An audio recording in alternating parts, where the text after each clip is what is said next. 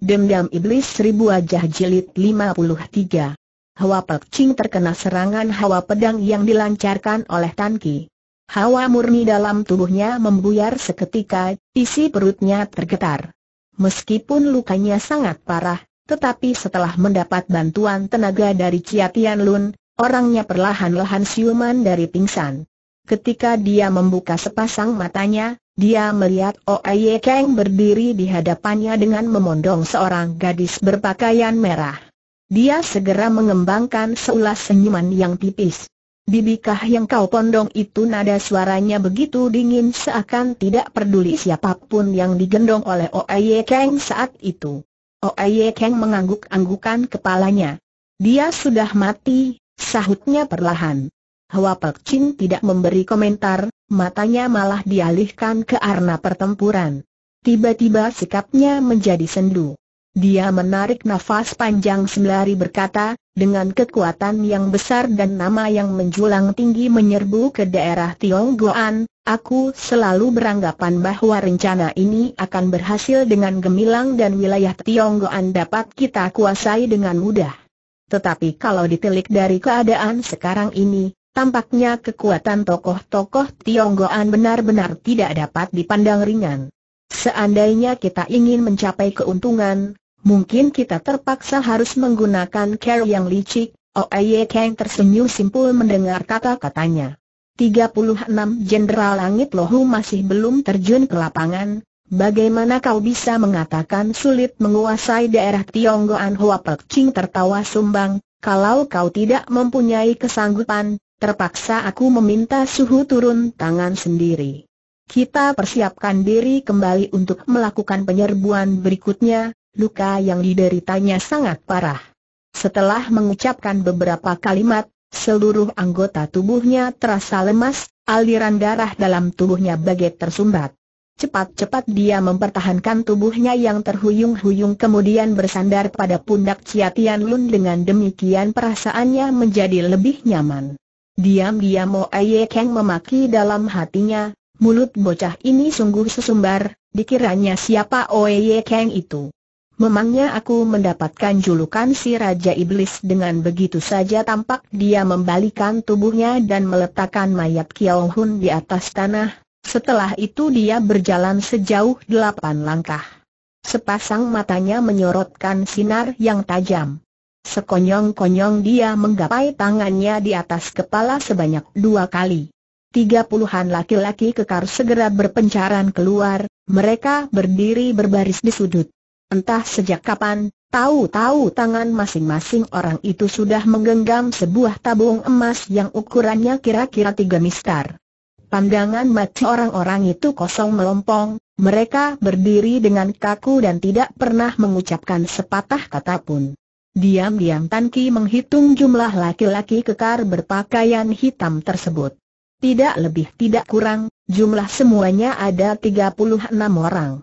Tampak posisi berdiri mereka seakan tidak menentu dan tidak kentara perbedaan tinggi rendahnya kedudukan. Tetapi gerak-gerik mereka begitu gesit dan tampaknya sudah mendapat latihan yang matang. Di dalam perkampungan Pek Hun Cheng, Tan Ki sudah pernah bertemu dengan barisan ini. Diam-diam hatinya tergerak, ini merupakan barisan Jenderal Langit yang dibina Oye Kang dengan segenap kemampuannya. Tampaknya tabung yang digenggam dalam telapak tangan mereka merupakan Ban Huatong, tabung selaksa bunga, yang dikatakan oleh Cici Liang, pikirannya tergerak, sepasang matanya pun menyorotkan cahaya yang berkilauan. Matanya menatap lekat-lekat pada diri Oye Kang dan kewaspadaannya pun segera ditingkatkan. Oye Kang mengeluarkan suara tawa terbahak-bahak. Mendadak dia berteriak, Liang Fuyong, cepat kau kemari melihat si Raja Iblis itu tiba-tiba mengeluarkan suara teriakan, ingatannya, langsung melayang ke peristiwa menyakitkan yang dialami oleh Cici Liangnya. Wajahnya langsung berubah hebat. Dia menolehkan kepalanya dan membentak, Cici Liang, tidak usah digubris ocehannya kakinya menghentak di atas tanah, tubuhnya pun melesat di udara. Ketika dia mendarat kembali, jaraknya dengan Oye Kang tinggal 4-5 tindak saja. Gerakannya begitu pesat seperti lintasan cahaya kilat. Tampaknya Cheng Lam Hang dan Mei Ling tidak menyangka kalau mendadak Tan Ki akan menghambur ke depan. Untuk sesaat kedua-duanya jadi termangu-mangu. Mereka tidak sempat lagi berteriak mencegahnya. Liang Feng Yong terus berdekatan dengan suhunya. Hatinya tetap saja merasa khawatir. Tanpa dapat ditahan lagi dia bertanya kepada Tian Bucu, Suhu, coba kau lihat, apakah Tan Ki sanggup melawan si Raja Iblis Oye Kang sepasang mata? Tian Bucu memperhatikan sikap Tan Ki. Apabila Oye Kang bertarung dengannya dengan menggunakan ilmu yang sejati, walaupun Tan Ki belum tentu menang, tetapi lebih dari cukup untuk menjaga dirinya sendiri. Tetapi lawannya ini justru seorang manusia yang maha licik. Akal busuknya banyak sekali. Takutnya dia menggunakan racun dalam menghadapi Tan Ki, terdengar desahan dari mulut Liang Feng Yong. Wajahnya menyiratkan perasaan panik yang tidak terkirakan. Saat itu kembali Oye Kang memperdengarkan suara tawanya yang terbahak-bahak. Kau berhasil merebut kedudukan Bulim Bengcu yang mulia, hatiku ikut merasa gembira. Apabila ayahmu yang ada di alam baka dapat mengetahui kejadian ini, tentu arwahnya juga terhibur dan merasa bangga sekali, Tan Ki tertawa dingin.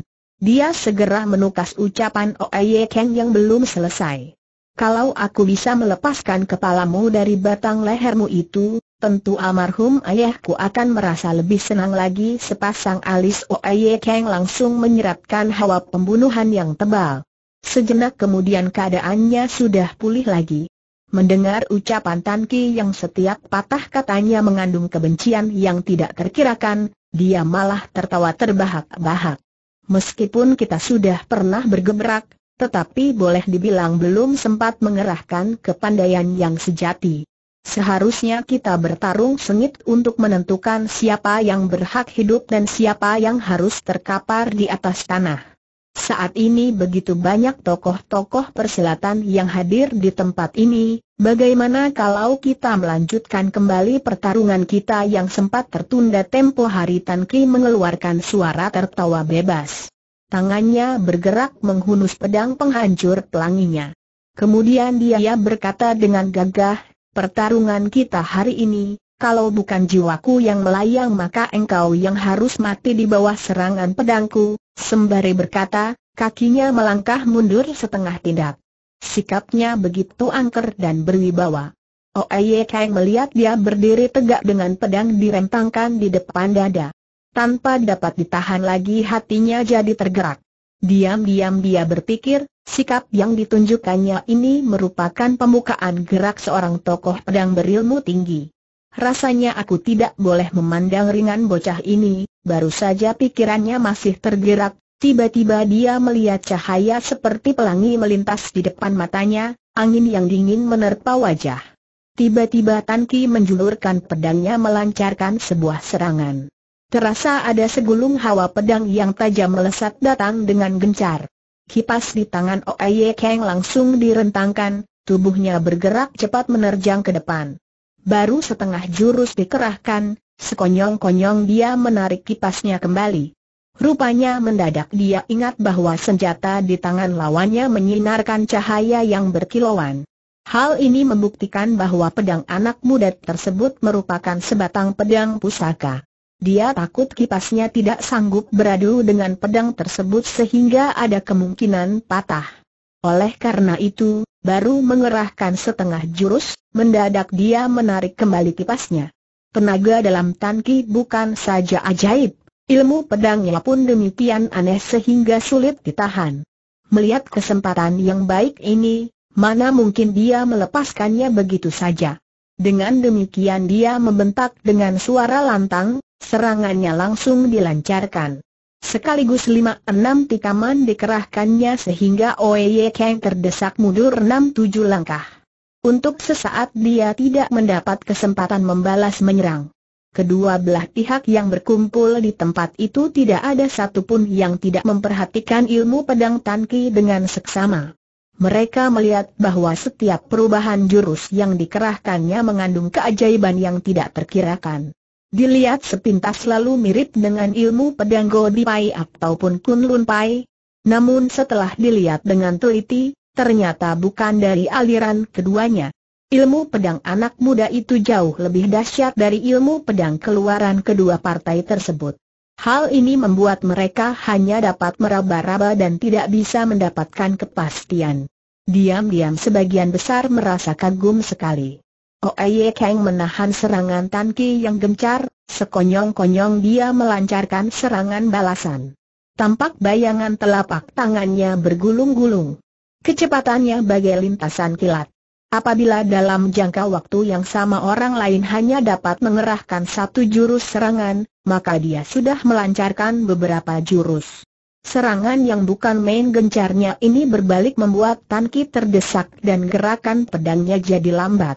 Tiba-tiba jurus yang dikerahkan kipas Oye Kang berubah, dengan tidak terduga-duga dia melancarkan serangan. Jurus yang dikerahkannya sungguh keji dan sanggup membunuh lawannya seketika. Meskipun tangan Tan Ki menggenggam sebatang pedang pusaka, tetapi dia tidak sanggup merebut kembali peluang untuk melakukan penyerangan terlebih dahulu. Lagi pula jarak mereka sedemikian dekatnya sehingga dirinya terasa kalang kabut dan banyak jurusnya yang aneh-aneh tidak sempat dimainkan. Dengan susah payah dia menggerakkan pedangnya dengan sekuat tenaga, dengan demikian bagian dadanya jadi terlindung dan dia pun menggunakan kesempatan itu untuk mencelat mundur ke belakang. Baru saja dia menghindarkan diri sejauh beberapa depa, Oye Kang sudah berdiri tegak kembali di tempatnya semula, dia sama sekali tidak mengejar Tan Ki. Tiba-tiba mulutnya mengeluarkan suara seperti gerangan, tangannya menjulur ke depan menghantam. Serangannya kali ini mengandung tenaga dalam yang bukan main dahsyatnya. Ilmu yang digunakannya justru sengaja diciptakan untuk menyerang musuh dari jarak beberapa dipaan. Diam-diam hati Tan Ki jadi tercekat. Pedangnya digeser ke samping sedikit. Ternyata dia berhasil menahan serangan Oye Kang yang hebat, tetapi tubuhnya tergetar sedemikian rupa sehingga terhuyung-huyung kemudian terdesak mundur ke belakang setengah langkah dalam beberapa jurus yang berlangsung, kedua orang itu selalu saling menyerang kemudian mencelat mundur. Tetapi orang-orang yang hadir di tempat itu dapat merasakan bahwa dalam pertarungan itu selalu terselip bahaya yang mengintai setiap saat. Perasaan mereka begitu tegang sehingga setiap orang menyaksikan jalannya pertarungan dengan menahan nafas. Terdengar Roe Kang berkata dengan suara yang tajam, ilmu pedangmu merupakan hasil curian dari Ti Chiang Pang. Memang sangat hebat dan jarang ditemui. Tetapi kalau ditilik dari tenaga dalam yang kau miliki, tampaknya kau masih belum sanggup mengadu jiwa dengan kuajah Tanki menyiratkan keangkeran. Dia berdiri tegak dengan pedang merentang di depan dada. Manusia si Oye, kau tidak perlu mengangkat-angkat dirimu sendiri. Orang lain boleh mengatakan bahwa tenaga dalammu sudah mencapai taraf tertinggi, ilmu yang kau kuasai keji sekali. Tetapi di bawah serangan pedangku yang gencar, suatu ketika keburukanmu pasti akan terlihat mendengar nada kata-katanya yang sombong, Oye Kang mendongakkan wajahnya tertawa terbahak-bahak. Tiba-tiba tubuhnya mendesak ke depan dan menerjang datang. Dengan jurus pelangi menghias angkasa yang hebat, dia melancarkan sebuah totokan. Pedang di tangan Tan Ki mengibas. Dengan keras dia menyambut jurus itu. Terdengar suara benturan logam, pedang dan kipas sama-sama tergetar dan terhuyung-huyung sebanyak dua kali. Tan Ki melihat pedang pusaka di tangannya ternyata tidak sanggup mematahkan kipas Oye Keng. Malah dirinya tergetar sehingga pergelangan tangannya terasa kesemutan serta kakinya goyah. Hampir saja dia tidak dapat mempertahankan diri. Untuk sesaat dia malah jadi termangu-mangu. Oye Keng adalah seorang manusia yang bukan main liciknya. Melihat adanya kesempatan bagus, mana mungkin dia sudi melepaskan begitu saja. Tiba-tiba mulutnya mengeluarkan suara bentakan keras, tubuhnya merapat maju. Justru ketika pikiran Tan Ki masih melayang-layang, dia sudah melancarkan serangan. Hatinya Yai jahat berniat menggunakan kesempatan itu untuk membunuh Tan Ki. Tan Ki merasa serangannya yang gencar ini mengandung kekuatan yang dahsyat. Jurus yang dikerahkan oleh kipasnya begitu ajaib sehingga sulit dihadapi. Dia bagai dikurung dari delapan penjuru. Hatinya terkejut setengah mati. Terpaksa dia merentangkan pedangnya untuk melindungi bagian dada dan dalam waktu yang bersamaan mencelat ke belakang. Kedua orang itu saling menyerang dan menahan. Yang satu maju yang lainnya pasti mundur. Tampaknya dalam waktu yang singkat sulit menentukan siapa yang lebih unggul dan siapa yang lebih lemah. Orang-orang yang hadir di tempat itu melihat keduanya saling mengerahkan kelebihan masing-masing dan menutupi kelemahan mereka. Setelah bergebrak beberapa jurus kedudukan mereka masih seimbang. Dengan usianya yang masih begitu muda, Tan Ki berhadapan dengan Raja Iblis nomor satu di dunia saat itu, keadaannya meskipun agak terdesak tetapi sama sekali tidak memalukan. Diam-diam mereka bersyukur bahwa kelak dunia Kangou ada generasi penerus yang dapat diandalkan. Tetapi hati Tan Ki justru tidak merasa gembira karena hal ini. Dia selalu mempunyai pikiran, dendam selama berpuluh tahun terus terpendam. Sekarang musuh besar sudah di depan mata, rasanya ingin sekali menikam jantungnya dalam sekali gerak agar mati seketika. Tetapi setelah bergebrak beberapa jurus, bukan saja ilmu sejati pihak lawan sudah terlihat jelas, rasanya dalam ribuan jurus pun belum tentu dapat menentukan siapa yang lebih unggul di antara kami berdua, Semakin dipikirkan hatinya semakin tertekan. Perasaannya demikian panik sehingga keringat dingin mulai membasahi keningnya. Emosi dalam hatinya seakan terus bergejolak. Entah sejak kapan, tahu-tahu ketiga puluh enam laki-laki kekar berpakaian hitam sudah mengambil posisi membentuk barisan dan mengurung Tanki di tengah-tengah. Tian Wucu yang melihat keadaan itu segera merasakan situasi Tanki yang mulai gawat. Dia langsung berteriak dengan suara lantang. Hati kiri kananmu justru ketika suara teriakannya baru terdengar, tiba-tiba bunga api berpijar dan melesat keluar ke seluruh bagian tubuh Tanki. Rupanya tabung yang digenggam ke-36 laki-laki bertubuh kekar itu merupakan Ban Hua Awe Etong yang tidak pernah ia temui sebelumnya. Tabung api selaksa bunga itu dapat menyemburkan asap beracun yang keji. Orang-orang yang melihat api berwarna kehijauan melesat keluar, segera dapat merasakan betapa berbahayanya senjata semacam itu. Dalam waktu yang bersamaan, mereka mengeluarkan suara pekikan terkejut dan terasa seluruh bulu kuduk di tubuh mereka merinding. Dengan segenap kemampuannya Tan Ki mencelat ke atas, jangkauan loncatannya mungkin mencapai lima kaki lebih. Tetapi dirinya langsung terdesak oleh serangan Oye Kang sehingga mau tidak mau dia berjungkir balik di udara dan mendarat kembali di atas tanah. Sepasang alisnya langsung menjungkit ke atas. Matanya menyorotkan sinar yang berkobar-kobar, mimik wajahnya menunjukkan perasaan yang gusar tidak kepalang. Hampir saja dia membuka mulut memaki Oye Kang. Tetapi sekejap kemudian dia hanya mendengus dengan berat dan mencelat ke samping sejauh tujuh tindak. Baru saja kakinya berdiri dengan tegak, lima carik cahaya kehijauan melesat tiba di tempatnya berdiri tadi. Seandainya Tan Ki tidak keburu menghindar, sungguh sangat ngeri membayangkan apa yang akan terjadi pada dirinya. Panah api itu mengandung kekuatan yang dahsyat. Meskipun Tan Ki berhasil mengelakkannya, namun percikan apinya mencapai jarak dua depaan, setelah itu baru padam kembali. Namun tempat di mana api tersebut mendarat, baik rumput maupun bebatuan langsung terbakar. Saat itu juga terendus bau bunga dan rumput yang terbakar Tan Ki berteriak dengan suara lantang, pedangnya digetarkan kemudian dihunjamkan ke depan. Tampak secarik cahaya berkilauan yang mengiringi percikan darah, disusul dengan rubuhnya seorang laki-laki berpakaian hitam. Tabung di tangannya menggelinding di atas tanah dan segera ada beberapa batang panah api yang melesat keluar dan membakar rumputan, di mana senjata rahasia itu mendarat. Rumput-rumput yang terbakar layu menguning seketika. Hati Tanki diam-diam tercekat melihatnya. Rupanya panah api yang menyembur keluar dari tabung emas itu bukan saja mengandung kekuatan yang dahsyat tetapi juga mengandung racun yang keji tiba-tiba tampak laki-laki berpakaian hitam itu memancarkan diri mereka. Tabung di tangan mereka kembali digerakkan.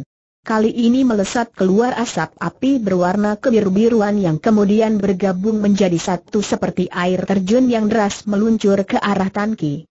Rupanya di dalam tabung itu tidak hanya terisi panah api beracun, tetapi berbagai jenis senjata rahasia beracun lainnya. Apabila setiap laki-laki kekar itu memakai senjata rahasia yang berlainan untuk menghadapinya, entah bagaimana kebuakannya Tanki menghadapi mereka. Tanki menggertakkan giginya erat-erat. Sekonyong-konyong dia menggerakkan pedang penghancur pelanginya lalu menerjang kepada laki-laki berpakaian hitam yang ada di sebelah kiri. Dalam waktu yang bersamaan, dia mengibaskan pedangnya ke sana kemari untuk menangkis panah beracun yang melesat ke arahnya. Tanki sadar panah-panah api yang melesat keluar dari tabung emas di tangan laki-laki berpakaian hitam itu mengandung racun yang keji. Apabila dirinya sampai terkena, bukan cuma daging serta kulit tubuhnya yang merasa sakit, sulit pula mencari obat penawarnya.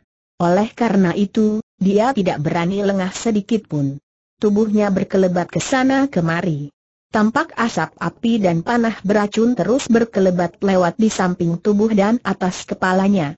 Dari jauh tampak segulungan asap yang besar membungkus tubuh anak muda itu. Namun ke-36 Jenderal Langit Asuhan Oye Kang ini bukan orang-orang sembarangan. Mereka terbagi dalam tiga kelompok yang berjumlah masing-masing 12 orang. Sedangkan ketiga kelompok itu menggunakan jenis senjata rahasia yang berlainan. Tan Kim menerjang beberapa kali berturut-turut. Tetapi baru menerjang beberapa depa, terpaksa dia berhenti lagi. Pedang penghancur pelanginya bergerak sehingga menimbulkan lingkaran cahaya berkilauan yang mana melindungi seluruh tubuhnya. Begitu gerakan tubuhnya terhenti, kembali panah beracun, asap beracun dan piau beracun menyerang dirinya dari segala arah. Kali ini keadaan dirinya benar-benar gawat, menangkis sulit, melancarkan serangan tidak mungkin. Kedua belah pihak yang melihat keadaan diri, Tanki saat itu, dapat merasakan bahaya yang mengintai dirinya setiap saat. Sepasang mata, Tian Bucu menyorotkan sinar yang berkilauan. Kakinya bergerak maju setengah langkah. Diam-diam dia telah mengerahkan tenaga dalamnya sebanyak delapan bagian dan siap dilancarkan apabila situasi sudah mendesak sekali. Pandangan Mat Li Bun Siusan dan Cian Chong terus melirik ke sana kemari, Meskipun sedang berhadapan dengan musuh, mereka tetap memperhatikan situasi di sekitar. Begitu melihat ke arah Tan Ki, tentu saja mereka paham bahwa Tan Ki saat itu sudah terkurung rapat dalam barisan Jenderal Langit binaan Oye Kang dan sulit meloloskan diri. Tetapi keadaan mereka sendiri saat ini sedang menghadapi lawan yang tangguh. Sudah barang tentu kau Cukut kau dan Tong Kulu tidak memberi kesempatan kepada mereka untuk menolong Tan Ki. Melihat keadaan anak muda itu yang sedemikian berbahaya, tanpa dapat ditahan lagi keringat dingin mengucur membasahi kening kedua orang tua tersebut. Namun mereka tidak dapat berbuat apa-apa. Kadang-kadang malah mereka terdesak oleh lawan masing-masing karena perhatian mereka yang terpencar serta mengkhawatirkan keadaan Tan Ki. Kedua tokoh ini merupakan orang-orang yang berpengetahuan luas. Mereka sadar bahwa Ban Hua Awe Etong yang ada di tangan ke-36 laki-laki berpakaian hitam itu mempunyai pengaruh yang hebat. Jangkauannya jauh sekali, bahkan lebih kuat satu kali lipat dari pukulan seorang pesilat biasa. Dalam waktu setengah kentungan saja belum tentu apinya dapat dipadamkan kecuali kalau daya kerja senjata rahasia itu sendiri yang sirna dengan sendirinya. Pokoknya hampir tidak ada jalan untuk menolong Tan Ki keluar dari kesulitan tersebut. Justru ketika kedua orang itu masih mengkhawatirkan keadaan Tan Ki, tubuh anak muda itu telah dikelilingi kobaran api. Dalam jarak sepuluh depaan seperti terjadi kebakaran hebat dan boleh dibilang tidak ada tempat kosong lagi bagi Tan Ki untuk menghindarkan diri. Tiba-tiba terdengar suara ratapan yang menyayat hati. Tan Koko. Adik Kim Meiling dan Liang Feng Yong langsung menghambur ke depan dengan pipi berderai air mata. Sementara itu, mendadak terdengar suara pekikan burung Raja Wali yang lantang sekali. Seekor burung Raja Wali yang bentuk badannya besar sekali menukik ke bawah dengan kecepatan yang tidak terkirakan. Timbul serangkum angin yang kencang laksana badai topan yang melanda. Demikian hebatnya kepakan sayap Raja Wali tersebut sehingga kobaran api padam seketika dan asap putih kebiru-biruan memenuhi angkasa. Hati Oye Kang langsung curiga. Cepat-cepat dia mendongakkan kepalanya. Tampak segurat cahaya berwarna keputihan melesat dari punggung Raja Wali tersebut. Kecepatannya bagai kilat. Baru saja Oye Kang berniat mengangkat kipasnya ke atas untuk menangkis, tahu-tahu serangkum angin yang kencang menerpa wajahnya. Kipas di tangannya sudah terkutung menjadi dua bagian. Tampak cahaya putih berkelebat, tiba-tiba di samping tubuh Tanki telah berdiri seorang gadis berpakaian putih. Kecantikan gadis ini sungguh luar biasa. Sepasang matanya bening bagai air sungai di musim semi. Alisnya lebat dan bentuknya indah. Wajahnya bersih terang mempesona. Orang-orang yang ada di tempat itu seakan terpikat oleh kecantikannya yang bak Dewi Kahyangan itu. Apalagi saat ini bibirnya merekah mengulumkan seulas senyuman yang manisnya sulit diuraikan dengan kata-kata. Hal ini malah membuat sukma orang-orang itu seperti melayang-layang di awang-awang. Serasa pandangan mata tidak bisa dialihkan ke tempat lain sepasang mata gadis berpakaian putih yang indah itu mengedar ke sekeliling. Melihat pandangan mata orang-orang di sana sedang menatap dirinya dengan terkesima, tanpa dapat ditahan lagi pipinya menjadi merah padam. Cepat-cepat dia menundukkan kepalanya rendah-rendah. Terdengar suara desiran angin, hanya satu kali lalu berhenti. Di belakang gadis berpakaian putih telah berdiri dua gadis cilik berusia 14 atau 15 tahunan. Keduanya mengenakan pakaian hijau. Hanya yang satu hijau tua, sedangkan yang lainnya hijau muda. Kedua gadis cilik ini juga mempunyai wajah yang rupawan sekali. Begitu gadis berpakaian putih itu muncul di samping Tan Ki, boleh dibilang sebagian besar tokoh daerah Tionggoan tidak ada yang mengenalinya. Tetapi orang-orang dari pihak Lem Hebun serta rombongan Perkut Kau justru pada berubah hebat wajah mereka. Tanpa dapat ditahan lagi kaki mereka tergetar mundur dua langkah. Seperti mendadak melihat malaikat maut sehingga perasaan hati menjadi tidak tenang dan jantung berdebar-debar. Dalam satu jurus serangan saja, gadis berpakaian putih itu sanggup mematahkan kipas yang biasa digunakan sebagai senjata oleh Oye Keng. Orangnya sampai berdiri termangu main GU beberapa saat. Sejenak kemudian dia baru pulih kembali.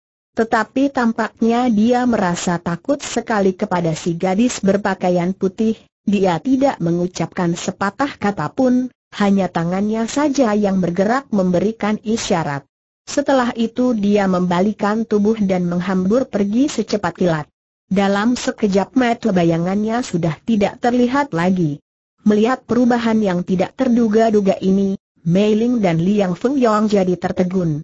Beberapa saat kemudian mereka baru mengenali si gadis berpakaian putih. Tanpa dapat ditahan lagi, bibir mereka mengembangkan senyuman dan tawa terkekeh-kekeh. Kemudian keduanya menghambur ke depan untuk mengucapkan terima kasih atas kedatangannya yang memberi pertolongan kepada Tan Ki. Gadis berpakaian putih itu hanya tersenyum simpul.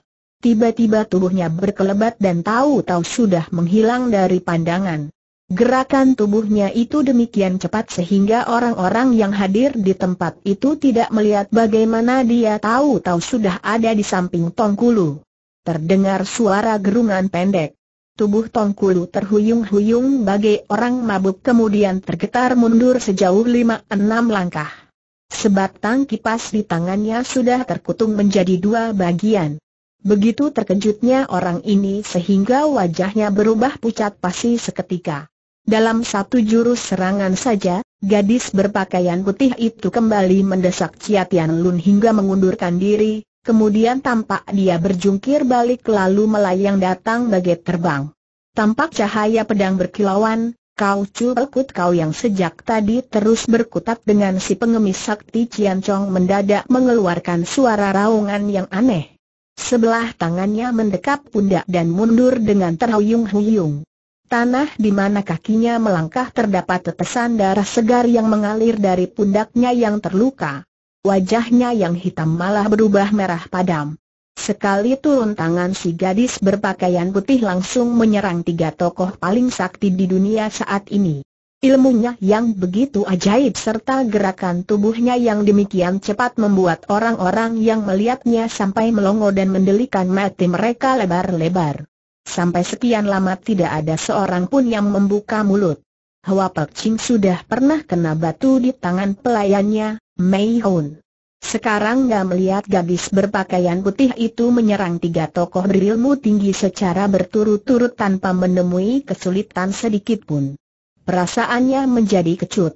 Diam-diam dia berpikir dalam hati, meskipun ditelik dari keadaan, Pihak kami masih mempunyai jago-jago yang dapat diandalkan, tetapi ilmu kepandaian gadis ini benar-benar hebat.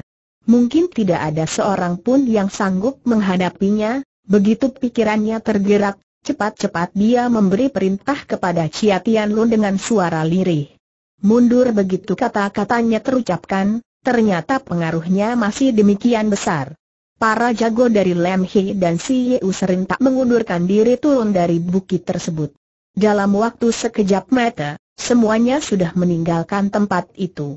Hawa pembunuhan yang tadinya menyelimuti seluruh bukit itu, saat ini menjadi buyar seketika. Tan Ki menatap kepergian orang-orang itu sampai menghilang dari pandangan mata. Dia tidak memerintahkan anggota perkumpulannya untuk mengejar. Dia tahu pihak Lam Hei dan Xiao hanya tergerak oleh ketinggian ilmu yang dimiliki oleh gadis berpakaian putih. Bukan karena mereka sudah kalah. Kalau tanpa berpikir panjang lagi dia memerintahkan orang-orangnya untuk mengejar, bisa-bisa pihak Lam Hei dan Xiao merasa terdesak sedemikian rupa sehingga nekat mengadu jiwa. Begitu pandangan matanya dialihkan, dia melihat wajah Yibun Siusan dan Cian Chong menyiratkan perasaan ingin tahu. Mati mereka menatap si gadis berpakaian putih itu lekat-lekat. Tampaknya banyak perkataan yang ingin mereka ucapkan, namun terpaksa ditahan. Mereka duduk bersila di atas tanah, kemudian memejamkan matanya rapat-rapat untuk mengatur pernafasan. Meskipun kedua ciampu itu tidak terluka sama sekali namun pertarungan yang berlangsung tadi cukup membuyarkan hawa murni dalam tubuh mereka. Walaupun di dalam hati banyak sekali perkataan yang ingin mereka ucapkan, tetapi mereka tidak berani memencarkan perhatian untuk sementara. Akhirnya keduanya duduk bersila mengatur pernafasan. Begitu rombongan musuh meninggalkan tempat itu, Para anggota perkumpulan ikat pinggang merah segera turun tangan membersihkan sisa-sisa pertempuran. Dengan sepasang tangan menggenggam pedang, Tan Ki maju ke depan dan menjura dalam-dalam. Pedang pusaka meskipun tajam dan sakti, tetapi hanya sesuai untuk orang yang cocok. Dalam pertempuran di Bukit Tok Leong Hang kali ini, Cai Hai sudah cukup mengandalkan pedang ini untuk menghadapi musuh, tetapi Cai Hai merasa sulit menerima pemberian dari nona ini, gadis berpakaian putih tersenyum tipis, barang yang sudah dihadiahkan, tidak mungkin aku tarik kembali. Pedang penghancur pelangi ini memang merupakan sebatang pedang kuno yang luar biasa tajamnya. Tetapi aku sudah menghadiahkannya kepada Mei Hun. Barang ini sudah menjadi haknya. Kalau dia ternyata menghadiahkannya lagi kepadamu, hal ini tidak ada sangkut pautnya lagi dengan diriku. Suaranya begitu merdu sehingga orang yang mendengarnya sulit membantah apa pun yang dikatakannya. Mendengar ucapannya, tanpa terasa sepasang tangan Tanki terkulai ke bawah. Tetapi sesaat kemudian, dia mengangkatnya kembali. Apalagi pedang pusaka, seharusnya dimiliki oleh orang yang tepat. Cai Hai adalah seorang desa yang kasar. Seandainya membawa pedang ini, malah membuat orang tidak percaya kalau pedang ini merupakan sebatang pedang pusaka. Kalau Nona berkeras hati tidak mau menerimanya kembali, namun Cai Hai juga enggan menggunakannya, lama-kelamaan malah menjadi barang rongsokan. Sebaiknya Nona hadiahkan saja kepada orang lain, Sepasang mata si gadis berpakaian putih menatap diri Tan Ki lekat-lekat. Sejak muncul di tempat itu bibirnya selalu mengembangkan senyuman. Tetapi setelah mendengar kata-kata Tan Ki, matanya langsung menyorotkan cahaya seperti kilat. Tetapi sekejap kemudian sudah pulih kembali. Namun senyuman yang diperlihatkannya sekarang ini tidak semanis tadi lagi. Sepasang alisnya menyeratkan kemarahan yang terpendam. Perlahan-lahan dia berkata lagi dengan nada sendu, kalau memang begitu kemauan Siang Kong, tentu aku tidak enak hati mengatakan apa-apa lagi, dia memalingkan wajahnya kemudian berkata lagi, Mei Hun, Ciu Goat, mari kita kembali ke Tiansan ucapan ini seakan dicetuskan dengan tergesa-gesa. Tampaknya dia ingin terbang meninggalkan tempat itu secepatnya. Mei Hun dan Ciu Goat yang mendengarnya jadi tertegun. Entah mengapa majikan mereka yang datang dengan kegembiraan yang meluap-luap, tiba-tiba merubah pendiriannya. Meskipun hati mereka merasa aneh, tetapi keduanya tidak berani bertanya. Setelah saling lirik sekilas, mereka melesat naik ke atas punggung Raja Wali. Gadis berpakaian putih itu tidak melirik Tanki sekilas pun. Tangannya menyambut pedang penghancur pelangi. Tidak terlihat jelas bagaimana tubuhnya bergerak, hanya terendus serangkum bau harum yang menerpa hidung. Orangnya sendiri sudah melesat ke atas punggung burung Raja Walinya dan berdiri membelakangi Tanki. Dengan termangu-mangu Tan Ki memandangi bayangan punggung ketiga gadis itu. Dia tidak mengucapkan sepatah kata pun. Orang lain juga tidak dapat menebak apa yang dipikirkannya saat itu. Sebetulnya, bukan Tan Ki tidak mau berbicara, tetapi kedatangan dan kepergian gadis berpakaian putih itu demikian tergesa-gesa. Meskipun di dalam hatinya terdapat ribuan kata-kata yang ingin diucapkan, namun dia justru tidak tahu bagaimana harus memulainya. Untuk sesaat, dia malah berdiri termangu-mangu tanpa bergerak sedikit pun. Tiba-tiba, kembali terendus serangkum bau yang harum menerpa datang. Tahu-tahu Mei Hun sudah berdiri di hadapannya. Tampak sepasang alis gadis itu menjungkit ke atas dan wajahnya menunjukkan perasaan tidak senang. Tan Ki tertegun sesaat, kemudian menjura dalam-dalam, Entah ada petunjuk apa lagi yang ingin Nona sampaikan tanyanya sopan. Mei Hun mengeluarkan suara tertawa yang dingin. Kau memang pandai sekali menjadi orang apa yang dikatakannya malah tidak ada hubungannya sama sekali dengan pertanyaan Tan Ki. Mendengar ucapannya, sekali lagi Tan Ki tertegun. Hatinya merasa bingung.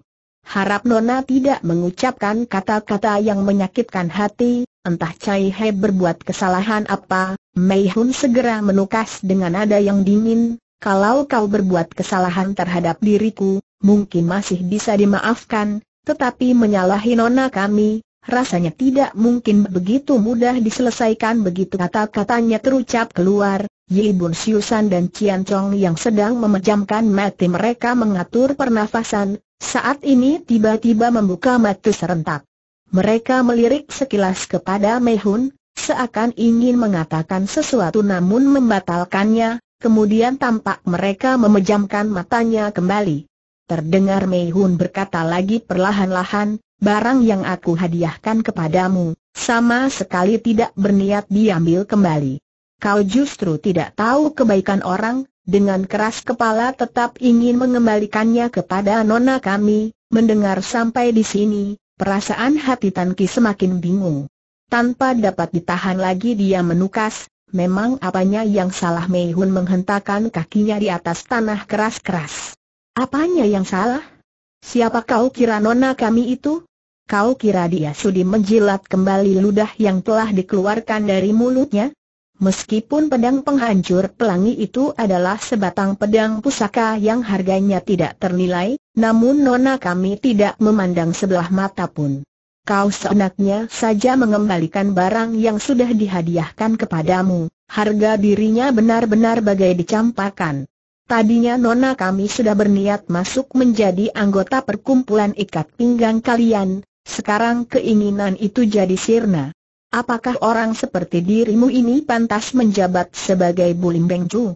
Demi engkau, nona kami sampai, berkata sampai di sini, tiba-tiba dia merasa ucapannya tidak patut diteruskan.